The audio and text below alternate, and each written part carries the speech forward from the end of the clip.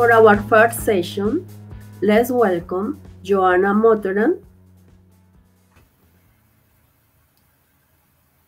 Assessment Solution Project Manager at the British Council, and Gemma Bellhouse, Test Product Quality Assurance Manager at the British Council. Welcome, Gemma. Welcome, Joanna. You can start now.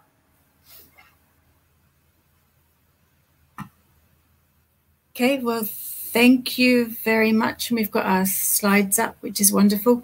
Um, just a little bit more information about Gemma and myself. We work in a team in the British Council, which is called Global Assessments. Um, one of our responsibilities is looking after the APTIS test, development and quality assurance. And we also work to um, modify APTIS for use in specific contexts. So that is really what we're talking about today is this idea that we can develop localized tests um, to professional standards to be used in particular contexts. And that's generally this idea that we're going to be talking about, which is the idea of localization. So thank you very much for joining us.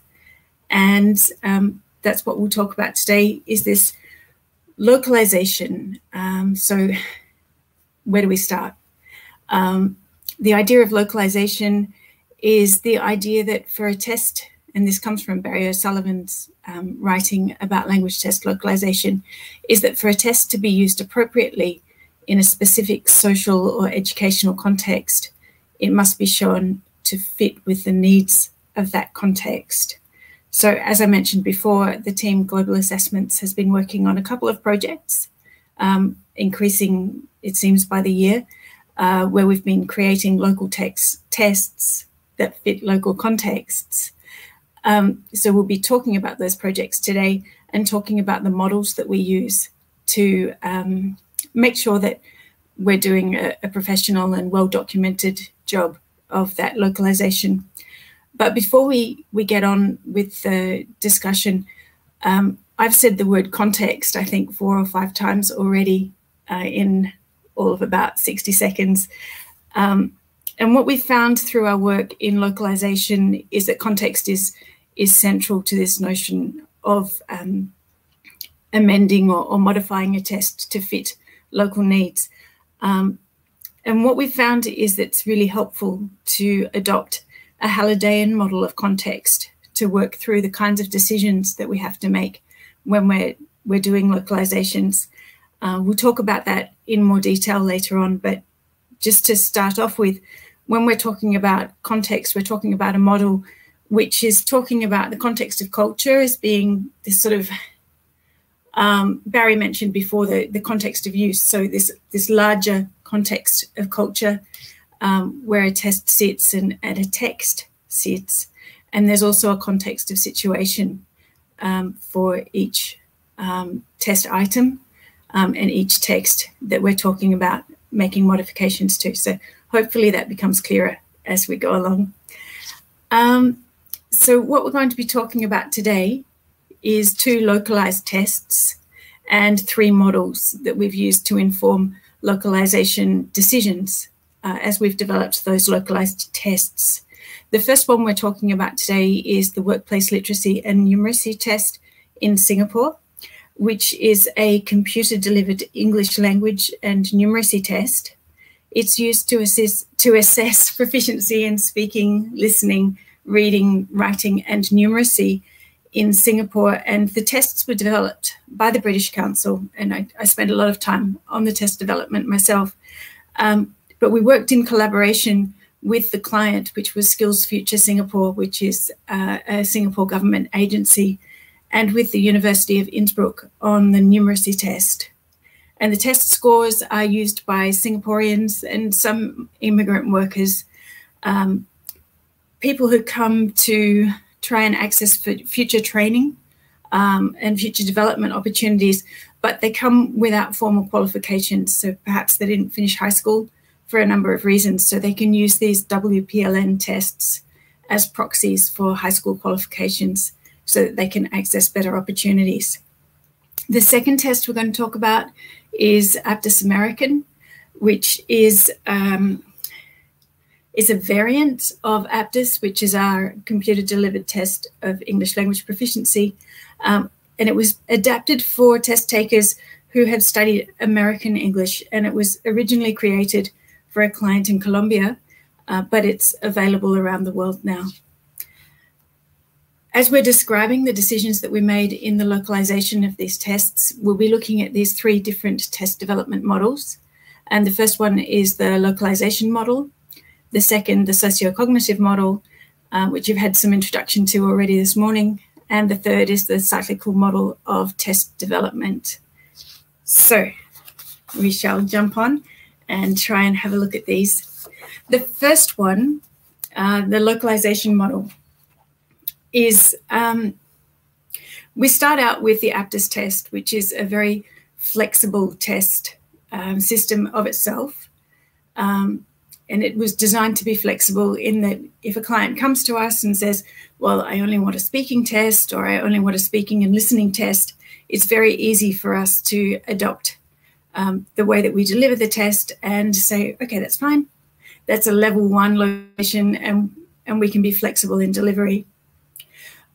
At the same time, when the tests were originally conceptualized, there's this idea that you could take this general um, English language proficiency test and make slight contextual modifications um, and have this lexical topical modification and have what we call a level two uh, localization. And that's the level of localization that we'll be talking about today about the um, Singapore WPLN and the Aptis American.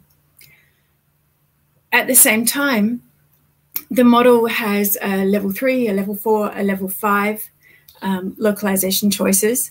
And when we get to a level five localization choice, as you can see there, that is actually a new test. And so part of the localization for the Singapore solution was to develop a numeracy test for the client. Um, so that falls under this level five localization. Um, so what do we mean when we, we talk about a level two localization? And what kind of decisions are we making to to change the test from you know we're saying at level one it's it's a very general international um, adaptable kind of test and then we're moving it to a specific context of use at a level two. So what kind of decisions do we make um, when we're going to do that?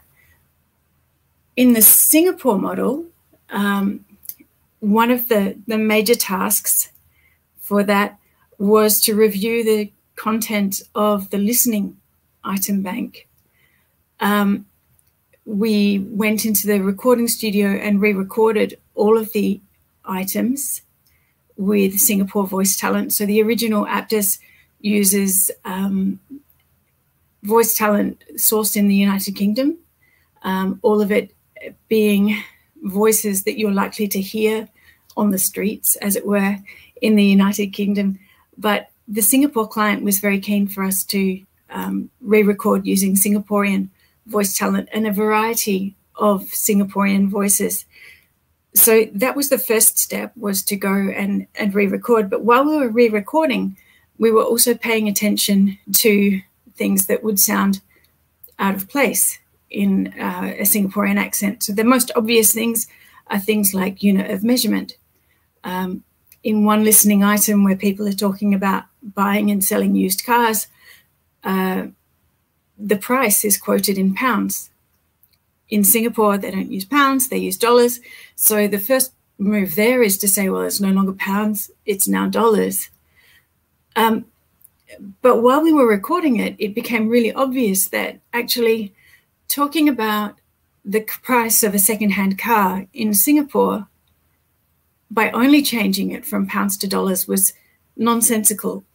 Um, and the, the illustration here is to show you that a, a car that, if you're going to purchase it secondhand in the UK, is going to cost you about seven and a half thousand pounds, which is about twelve and a half thousand Singapore dollars.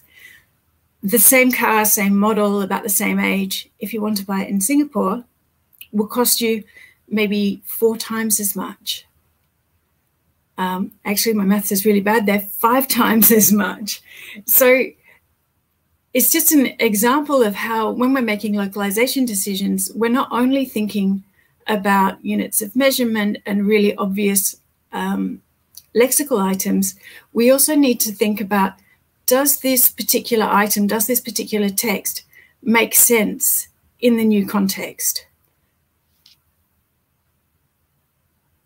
There was another example um, that we we hit where um, we had a candidate, sorry, we had a, a voice actor talking about taking a gap year, um, which you know is is a lovely notion where in between high school and university you go off and explore the world and and become a grown up. Um, in the original, it was a male voice talking about this, and when we went into the recording studio, we realized that a Singaporean male voice actor can't talk about a gap year because a Singaporean male high school graduate goes to national service um, for the next two years and um, is definitely not going on a gap year. So something that we looked at there was thinking about, well, actually, a male voice isn't going to be able to read the script, but we can change it to a female voice and it will make sense. So that was another kind of change that we needed to make. Um, while we were doing the development, and this is the, the level five localization, which was where we were uh, developing a completely new test with the University of Innsbruck for the numeracy, we learned some really interesting localization facts about mathematical notation, um, which were not obvious at all to us. In Singapore, when you're doing a Pythagoras question and drawing a right angled triangle, you need to use a little square mark in the right angle to show that it's a 90 degree angle. But in Germany and Austria, which was um, the education systems that these items were kind of being developed within the thinking of, uh, the notation is quite different. You can see there's a little semicircular um, notation with a dot in it when we sent these items off for review with our, our, local partner, they came back with big red circles around them and question marks going, what is this? This makes no sense at all. Uh, so it's just another example of how the context of culture where the item sits has an impact on what kind of meaning there is um, and how we need to make these changes for the test to be fit for the local context. I'll hand over to um, Gemma now to talk about Aptis American in some detail. Thanks, Joanna. Okay, so uh, for the second localization project, I'm just going to talk through some of the examples of the changes we made to the test content. Uh, this was also based on Aptis General, just uh, as in the WPLN project that Joanna managed. So as this project was a test for South America, it was named Aptis American. And as you can imagine, this was a case of looking at the British language and adapting it for a purely American context. I treated each test item as a text and reviewed them to determine if anything needed to be amended. And this is a project that I managed, I carried out myself, as you might pick up from my accent. I've spent a lot of time in the US as well as the UK. Uh, so I consider myself bilingual on that count. But this was not a one person project at all. We also took contributions from multiple American recording studio informants, similar to the Singaporean voice talent. And we I referred to many referential resources, dictionaries, um, online resources, and we also carried out an expert test panel review. So let's take a close look at this table here on the slide. The Aptis skills or components are in the top light blue row across the top. And at the left in the light blue column, you can see the categories field, tenor, and mode. And all the amendments to the test were separated into these three categories. For the initial review and to analyze the changes, the theory of a context of situation, um, as Joanna has just been talking about, and these three categories came from systemic functional linguistics. Um, but what do these categories actually refer to? What do they mean? So for field, this refers to the content, um, basically the the idea of the content, the vocabulary generally. So so phone number, a phone number can change from uh, British to American. It can be a simple word like holiday to vacation. Um, for the purposes of this localization project in particular, the field category was the most e easy to recognize. Um, simply translation, really. And for tenor, this refers to the change of language due to the social relationship of the speaker to the reader or listener. So the tenor can refer to social classes within contexts, um, which can definitely arise between American and British Englishes. Um, British English vocabulary is often understood perfectly well in American contexts, but maybe just not used in the same way uh, or by the same people. So, for example, you wouldn't generally hear a 20 year old American male say that his evening with his parents was quite lovely. Uh, and finally, for the category mode, this refers to the channel of communication and often the technical linguistic elements of the language um, come into account here. So this type of change could represent adapting a spoken text to become a written text. But for the purposes of this localization project um, and context, most of the changes were related to slight amendments to spelling and the occasional verb tense, and also implementing the American accents and, and maybe a bit a slight, slightly different tone um, in some places for the speaking and listening recordings also falls under the mode category. So let's move on to the next uh, model. So this is the sociocognitive model of test development. And the objective in using and implementing this model in localization projects is to just be sure that we are producing the quality local tests that achieve the overall aims of the stakeholders. So we were very interested in thinking carefully about the impact of the stakeholders on the test development and vice versa. What is the impact of the new test or an amended test in this case on all the stakeholders. So looking at this model in keeping with the two tests, the projects, um, keeping in mind this question, does this model work for all types of localization projects and why? And do all stakeholders need to be involved? Could this model be improved, improved or maybe only used in a limited way? So let's look at the first project, the W, the Singapore WPLN test um, and the consequences and impact of the stakeholders on the test development and surrounding test materials. So for the test takers who hadn't used a computer before, they required training. Test development considered adapting the test, um, but then decided to go with a computer-based model still.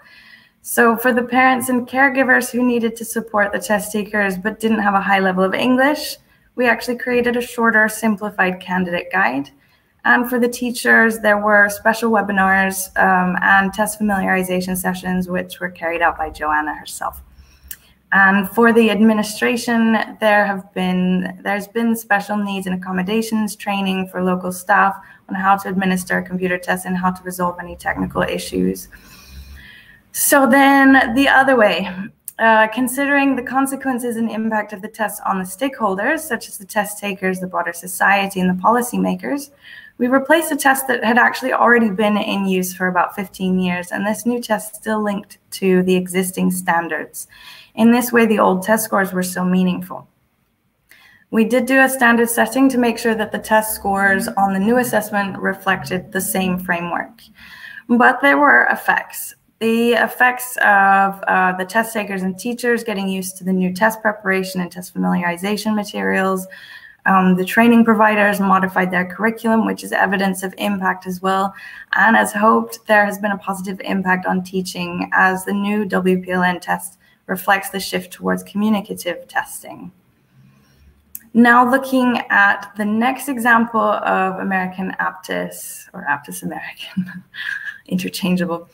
Uh, firstly, the stakeholders impacting on the test. Well, the test takers wanted a test aligned to their learning, we assume. Um, the teachers also wanted a test aligned to their teaching, of course. Uh, to be consistent with the American language curriculum, it only made sense. Employers in the region expected a test to represent American use of English. So this plays into face validity and also broader society, they're using American English. So um, it would only, you know, it only makes sense that a test should be reflecting the, the language that people are using in their everyday lives. So, of course, the consequences and impact of the test on the stakeholders. Well, the test takers have a nicer test taking experience. It's a more valid test. It's fit for purpose, just like with Barry's quote. Um, for the teachers, it supports their teaching. And for the employers, they're more likely to accept the score if the language reflects their current context. So let's move on to the third model. Back to you, Joanna.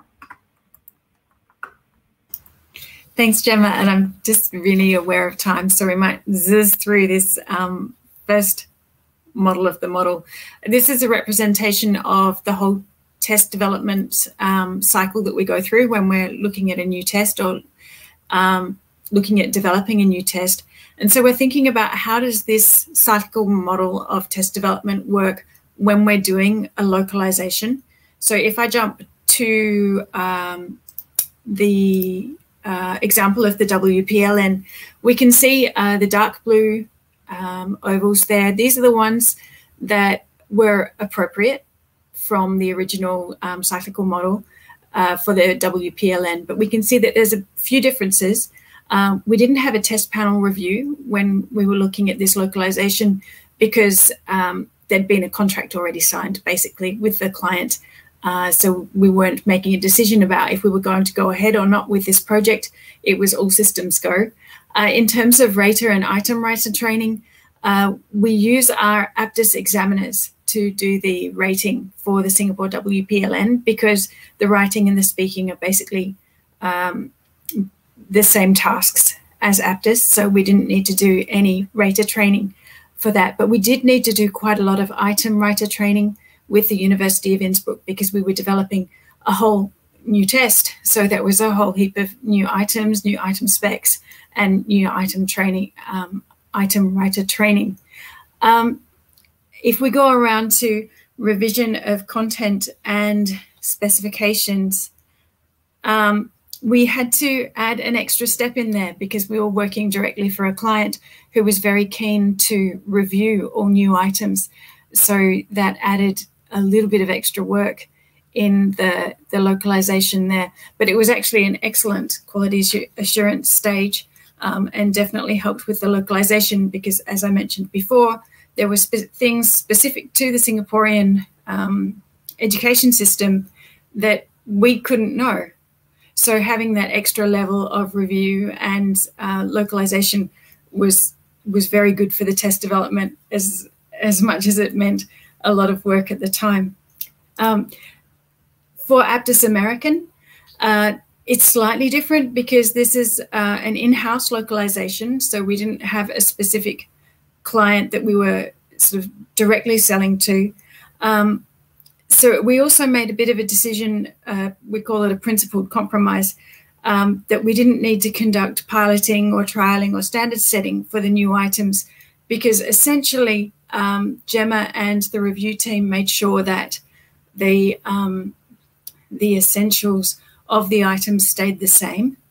Uh, so we, we haven't really um, done those three parts of the cyclical model. However, we are keeping a really close to eye on the monitoring data to make sure that the items are performing as we're expecting them to. Um, even though there are these um, changes in the pronunciation. It's actually flowing onto other thinking about um, what pronunciation and what voice actors we're using across Aptis, but that's probably not something I should talk about right now. Um, so just to finish up very quickly, um, these three different models, how were they useful? Um, the localization model is really handy as a way of starting conversations with clients and talking about what kind of changes need to be made to tests. Obviously, um, doing this kind of work is expensive and time consuming. So it's a good way to start talking to clients and talking to test users about what really needs to be done. Um, and you know, talking about scope of projects, really. Uh, the other thing that we've managed to do here, and I think it's a really important step, is to improve our documentation at the localization model level. Um, so thinking about the context of culture and the context of situation helps us to systematize the decisions that we're making as we, we make those amendments. Um, in terms of the socio-cognitive model, uh, we say there we need to systematically review, reflect, and record the consequences and impact of the stakeholders on the test and of the test on the stakeholders. We we also need to think more, I think, about um, the system, and, and, I think Barry helps us think about that a lot as well. Um, we can't think about a test as just sitting by itself.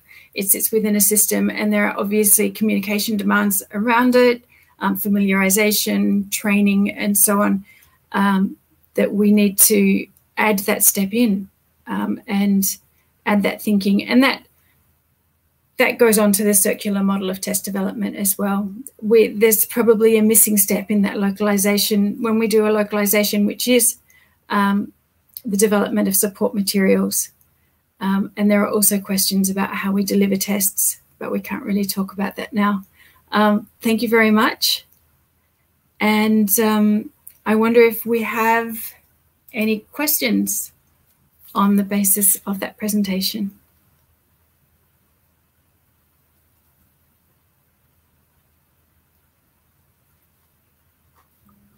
Uh, you're on mute.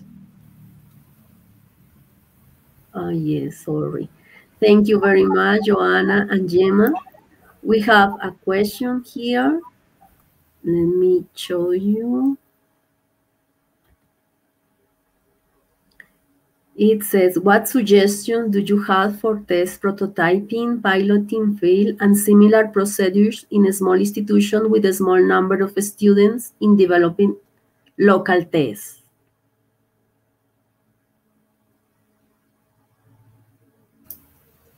Uh, I'll, I'll, start. Um, I'll start this. And one of the things that we did with the piloting for the numeracy test in Singapore, which was incredibly interesting, was just observing test takers taking the test. I mean, this was very early on, um, and we had questions around um, we had questions around the platform that we were using, um, around how candidates would engage with the platform, how they would behave on the platform, because we had some questions about um, test taker behavior, where they might be trying to game the system a little bit. Just sitting and watching people taking the test, looking at the steps they were going through as they were answering questions um, was really handy. So I think things like think aloud protocols um, while you're piloting uh, to really understand how candidates are engaging with different items um, is really useful and observation is really, really useful. Gemma, would you add anything there? No, I think that sums it up really well. It's a very good answer, and I, am aware we're we're running out of time as well. So. Okay, thank you. There are um, the last question is from Jose Luis. Uh, coming from the fact we create an in-house test done by professors, how do you suggest we can validate this test? I'll let you jump on that one as well, Joanna. Thank you, Gemma. Yeah. Um, so this is an enormous, enormous question, and um, wow, validation's always about um, how are you using the scores, and, and is it reasonable for you to use those scores to make the kinds of decisions you're going to make? Um, so I, th I, think that's that's the first the first question you're going to to address. I, th I think it's certainly useful to think about Barry's um, alignment, the, the notion of systemic alignment. So making sure that the assessment is well aligned with the curriculum and the delivery uh, are all aligned. As Barry mentioned earlier, it's completely um, unfair and um, basically leads to a broken system if, if those um, pieces of the system are not in alignment. Um, uh, but but valid test validation is is such an enormous thing. But the first question would be: Are you making reasonable decisions based on the scores, and and is the assessment aligned with the delivery and the curriculum. All right. Thank you very much for your time. There are no more questions here. Uh, thank you for your time, for your uh, knowledge. Thank you, the audience, for your participation. And uh, it's time to finish this session. Thank you very Thank much. You. Thanks for having us.